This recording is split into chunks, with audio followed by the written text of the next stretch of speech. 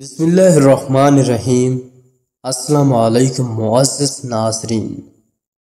امید کرتے ہیں آپ خیر و عافیت سے ہوں کہ ایک چٹکی بھر بھوسا یعنی توڑی لے کر مٹی کے برتن میں ڈال کر رات کو بھگو دیں اور صبح چھان کر نہار منہ پی لیں۔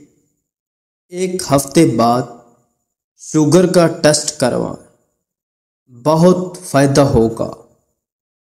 غیر معیاری کاریم اگر چہرے پر سائیڈ افیکٹ کر جائے تو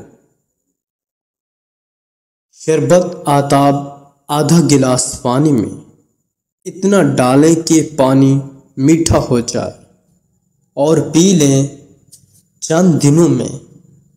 چہرہ صاف ہو جائے گا۔ بیری کے درخت کے نیچے پیشاب کرو گے تو جنید تمہیں تنگ کریں گے۔ رات کے وقت درخت ہلانے سے تمہارے سر میں درد رہنے لگے گا۔ ایک چمچ سنگھاڑے کا آٹا صبح کے وقت دودھ کے ساتھ استعمال کرنے سے شوگر کم ہو جاتی ہے۔ گاجر کا رس چہرے پر لگانے سے جلد پر رونق اور صاف ہو جاتی ہے۔ تین کام اللہ تعالیٰ کو بہت پسند ہے۔ ایک، ٹوٹے ہوئے دلوں کو جوڑنا۔ دل نہ چاہتے ہوئے بھی معاف کر دینا کسی کے گناہ پر پردہ کرنا۔ جب سونے کا ارادہ ہو تو نیم گرم پانی کے دو گھونٹ پی لیا کرو۔ نیند جلدی اور پرسکون آئے گی۔ پیٹ کی چربی وزن میں زیادہ اور مردانہ کا کمزوری کا علاج صرف ایک پھل کھانے سے ہے۔ وہ ہے جامن۔ جو لوگ زیادہ دیر بیٹھے رہتے ہیں، ورزش نہیں کرتے، ان کو فالج کا خطرہ زیادہ ہوتا ہے۔ رنگ گورا کرنے کے لیے، کلونجی کو دودھ میں ہلکا سا گرم کریں اور رات کو سونے سے قبل چہرے پر مالش کریں۔ صبح اٹھ کر کسی معیاری صابن سے چہرے کو دھو لیں سیاہ رنگت صاف ہو جائے گی۔ ماتھے پر ہاتھ رکھ کر مت بیٹھا کرو۔ اس سے گھر میں نحوست آتی ہے۔ کدو کا سالن کھانے سے فالج کی بیماری قریب نہیں آتی۔ گھوڑے کی سواری کرنے سے کمر کا درد کبھی نہیں اٹھے گا۔ دودھ میں چھوٹی مکھی کا شہد ڈال کر پی لیا کرو۔ چہرے کی شدابی اسی سال تک برقرار رہے گی۔ گھر میں مردوں کے ہاتھ پر مہندی لگانا گھر میں رزق تنگ کر دیتا ہے۔ جان بوجھ کر چونٹیوں کے اوپر سے گزرنا رزق تنگ کر دیتا ہے۔ قبلہ شریف کی طرف منہ کر کے تھوکنے سے رزق کم ہو جاتا ہے۔ سبز رنگ غور سے دیکھنے سے نظر تیز ہوتی ہے۔ سفید رنگ کے کپڑے پہننے سے شخصیت میں نکھار آ جاتا ہے۔ پکے ہوئے کیلے کو میش کر کے لیمو نچوڑ کر جلد پر لگانے سے جلد نرم و ملائم ہو جاتی ہے۔ فالج کی بیماری میں خرگوشت کا گوشت بہت زیادہ فائدہ دیتا ہے۔ سب سے پہلے بیس روپے کی جلیبی لینی ہے۔ اس کے بعد تین عدد کھجور، ایک چمچ سفید تلوں کے اور ایک چمچ کالے چنے بھنے ہو گئے۔ ان چیزوں کو اچھی طرح مکس کر کے صفوف بنا لیں اور اس صفوف میں جلیبی ڈال کر اچھی طرح مکس کریں۔ پیسٹ بنا لیں۔ ہم بستری کرنے سے پہلے ایک چمچ کھائیں، یقین کریں، آپ تھک جاؤ گے پر فارغ نہیں ہو پاؤ گے نہار منہ ادرک کا رس چاٹنے سے مرگی نہیں ہوتی۔ بھنا ہوا باجرہ کھایا کرے لڑکا پیٹ تین دن میں سکڑ جائے گا۔ خشک روٹی کا ٹکڑا، پانی کے ساتھ کھانا، گھاس پر ننگے پاؤں چلنا، روٹی کھانے کے بعد کچھ چل لینا، پخانے کے بعد جلدی پانی نہ پینا، گھر میں تتر پالنے سے خارش کی بیماری نہیں آتی۔ سینے کی جلن کی پرابلم ہو تو کیلا کھا لیا کرو۔ دل کی بیماری کا مسئلہ ہو تو۔ پیاز کی چٹنی بنا کر کھا لیا کرو۔ نیم گرم پانی کے ساتھ ادویات استعمال کرو۔ ادویات جلدی اثر کرتی ہیں۔ دودھ کی نسبت داہی جلدی ہضم ہو جاتا ہے اور داہی آنکھوں کے ریئیکشن سے بچاتا ہے۔ اگر مسورے درد کرتے ہوں یا خون آتا ہو تو کچی گھوبی کھاؤ، افاقہ ہوگا۔ پاؤں کے تلوں پر تیل لگا کر سونے سے زندگی بھر بڑھاپا قریب نہیں آئے گا۔ مچھلی کھانے سے بدن کے دردوں میں قدرتی طور پر آرام مل جاتا ہے۔ کھڑے ہو کر آٹا گوندھنے سے کمر کی تکلیف بڑھ جاتی ہے۔ لوبیا کھانے سے نظر تیز ہو جاتی ہے۔ مرغی کے پنجوں کی یخنی پینے سے پٹھے مضبوط اور جوڑ لوہے جیسے ہو مضبوط ہو جاتے ہیں۔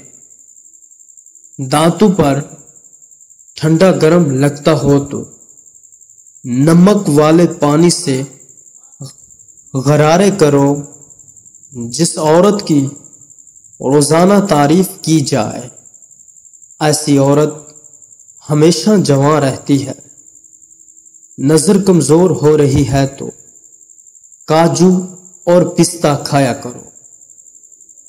ہر ہفتے اپنے آنکھوں کی صفائی کر لیا کر بالوں کا گرنا کم ہو جائے گا۔ بارش کے موسم میں انسان باجرے کی روٹی کھائے۔ بہت ساری بیماریوں سے محفوظ رہے گا۔ خارش والی جگہ پر کپڑوں والا تیل لگا دینے سے خارش ختم ہو جائے گی۔ آلو بخارا چہرے کی خوبصورتی کے لیے بہت مفید ہے۔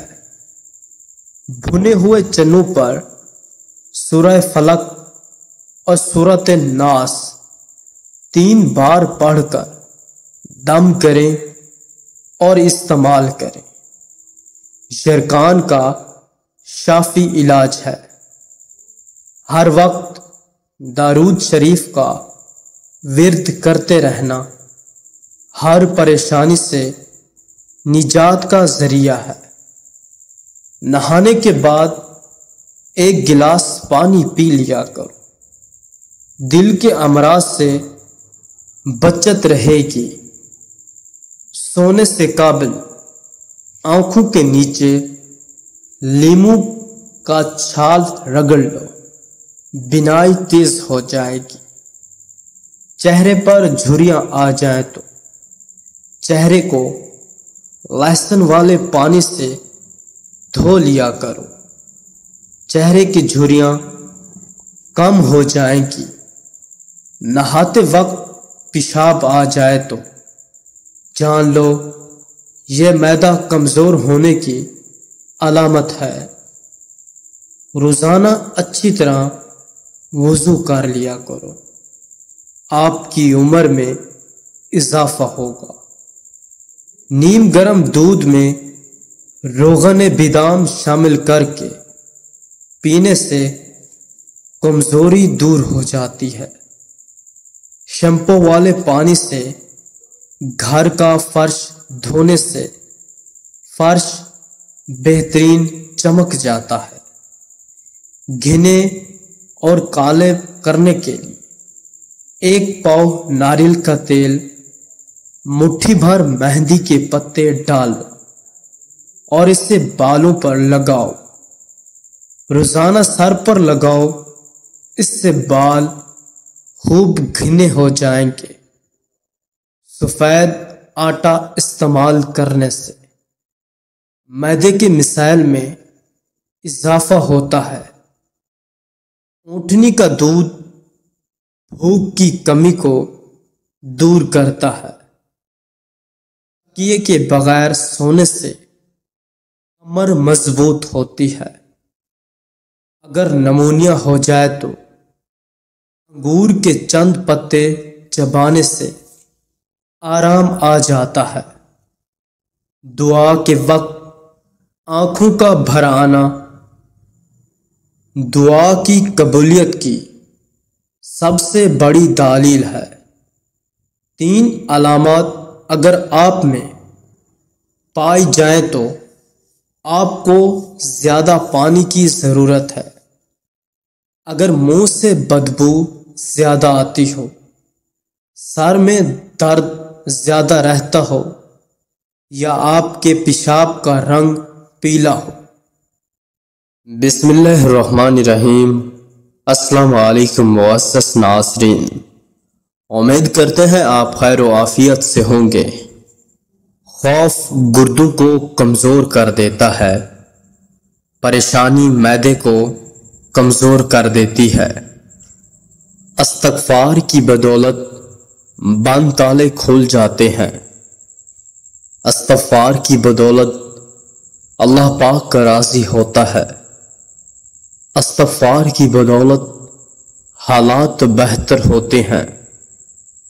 غریبوں کے سامنے اپنی دولت کی باتیں نہ کریں۔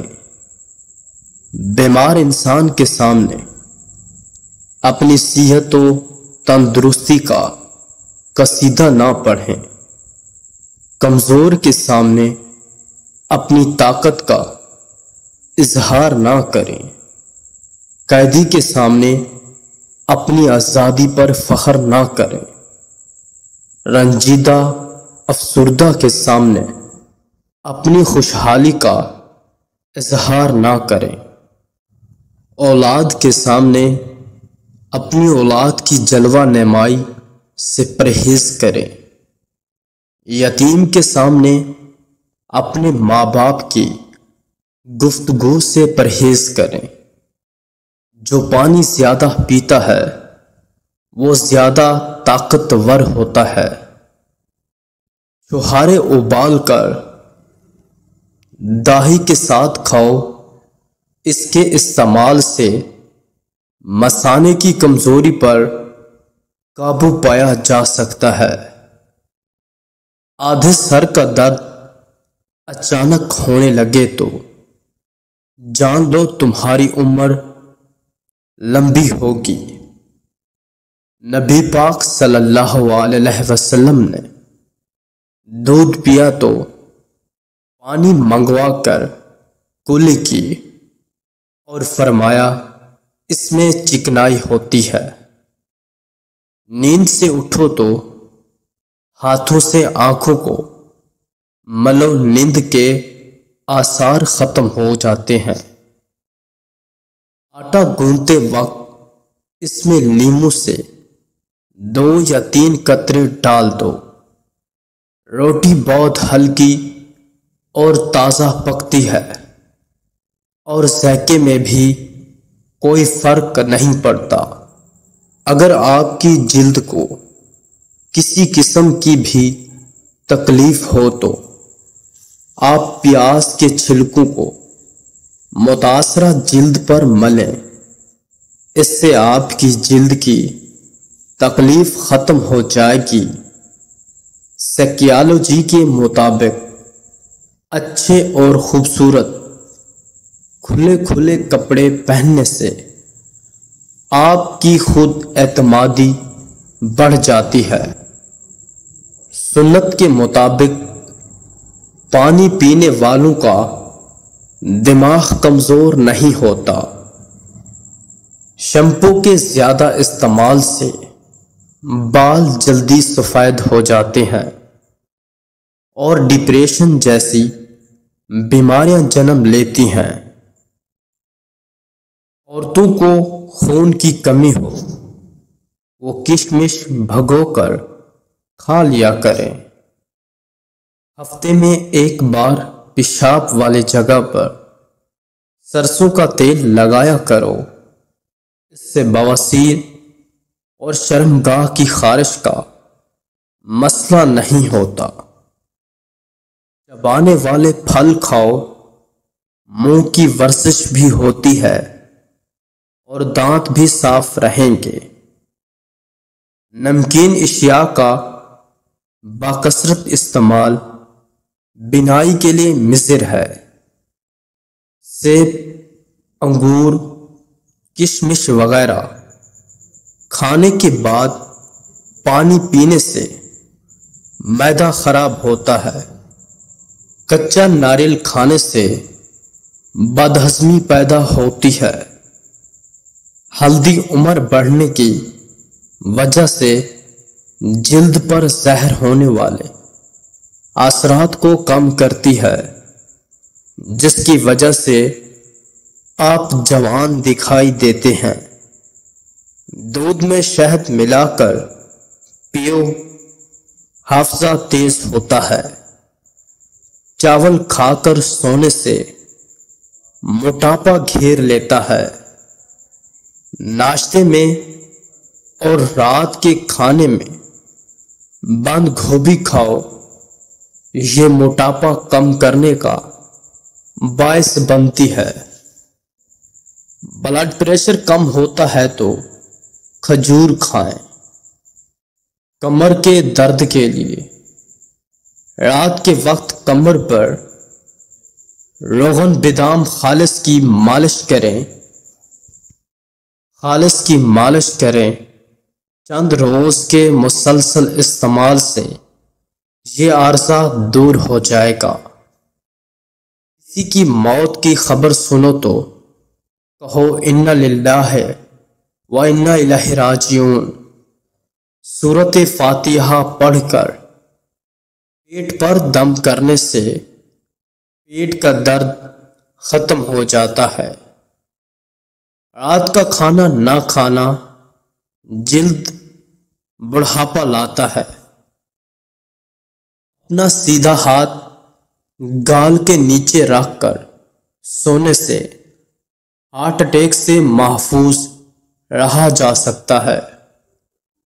چہرے کو ہاتھ یا دوپٹے سے صاف کرنا بھولنے کی بیماری پیدا کرتا ہے۔ ہفتے میں دو روزے رکھ لیا کرو کبھی جوڑوں کے درد کا مسئلہ نہیں ہوگا۔ انڈے ابالنے والا پانی اگر بچے کو پلائیں تو بچہ جلدی بولنے لگ جاتا ہے۔ مسواک کرنے سے کبھی منہ کے کینسر کی بیماری نہیں ہوتی۔ کھانے کے بعد پانی نہ پیا کرو۔ وہ تمہاری جوانی داتیر قائم رہے گی۔ رات کو آنکھوں پر تیل لگا کر سونے سے صبح آنکھ جلدی کھول جاتی ہے۔ جو ہارے کھاؤ، کمر کا درد جاتا رہے گا۔ سونے سے قابل یہ کام ضرور کر لیا کریں۔ صورت ملک کی تلاوت کر کے سوئیں۔ اگر تہجد میں آنکھ کھلنے کی عادت نہ ہو تو وطر پڑھ کے سویا کریں۔ اگر سکون چاہتے ہو تو تلاوت کرو۔ اگر صحت چاہتے ہو تو روزہ رکھو۔ اگر مصیبتوں کا حل چاہتے ہو تو استغفار کرو۔ اگر برکت چاہتے ہو تو درود شریف پڑھو۔ اگر غموں سے نجات چاہتے ہو تو دعائیں مانگا کرو۔ کوئی کام شروع کرو تو بسم اللہ پڑھو۔ اگر کچھ کرنے کا ارادہ رکھتے ہو تو انشاءاللہ اللہ کہو۔ کوئی اچھی چیز دیکھو تو سبحان اللہ کہو۔ کسی کا شکریہ ادا کرنا ہو تو کہو جزاک اللہ۔ کسی غلطی پر افسوس ہو تو کہو استغفر اللہ کسی کو رخصت کرو تو کہو امان اللہ۔ اللہ کے نام پر کچھ دو تو کہو فی سبیل اللہ۔ پیشاب کرنے کے فوری بعد پانی پینے سے پیشاب پیلا آئے گا۔ چکور کے انڈے کی سفیدی عزو پر لیپ کر دو، لمبا ہو جائے گا۔ باجرا اور کالا چنا بھون کر کھانے سے عزو کا سائز بڑھنا شروع ہو جاتا ہے۔ جو عورت مباشرات کرتے وقت چیختی ہے تو خالی پیٹ جمع کرنے میں صحت ہے اور نفس سو سال تک بڑھا نہیں ہوتا۔ نفس لمبا کرنا ہے یا موٹا کرنا ہے تو۔ روز دو کیلے کھا کر اوپر سے بھورے رنگ والی بھینس کا ایک گلاس نیم گرم دودھ پیا کریں۔ نہانے کے فوری بعد آنکھوں میں سرما لگانے سے بینائی کم ہونے کا خدشہ ہے۔ آدھی رات کو اٹھ کر کچھ مت کھانا پینا، ورنہ پیٹ میں پانی بھر جائے گا۔ چلتے ہوئے روٹی کھانے سے میدا سکڑ جائے گا۔ شام کو ناریل کھاؤ، جلد ملائم ہو جائے گی۔ اگر غموں سے نجات چاہتے ہو تو۔ دعائیں مانگا کرو۔ کوئی کام شروع کرو تو بسم اللہ پڑھو۔ اگر کچھ کرنے کا ارادہ رکھتے ہو تو انشاءاللہ اللہ کہو۔ کوئی اچھی چیز دیکھو تو سبحان اللہ کہو۔ کسی کا شکریہ ادا کرنا ہو تو کہو جزاک اللہ۔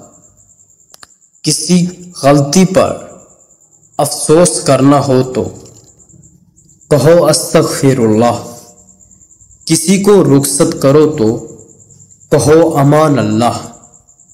اللہ کے نام پر کچھ دو تو کہو فی سبیل اللہ نظر کو تیز ترین کرنے کے لیے۔ چٹکی بھر سونف، چار عدد، بیدام اور ذرا سی مصری لے کر رات کو سوتے وقت کھا لیں۔ اس کھانے کے بعد ہرگز پانی نہ پئیں نظر کی کمزوری دور ہوگی، موت تک اینک نہ لگے گی۔